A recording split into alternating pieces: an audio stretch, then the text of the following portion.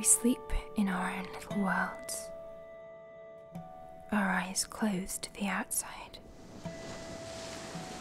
We will wait for someone, for something, and there you were, and there we were, for the briefest of moments. We forgot all that was true, and we were on the edge of the precipice.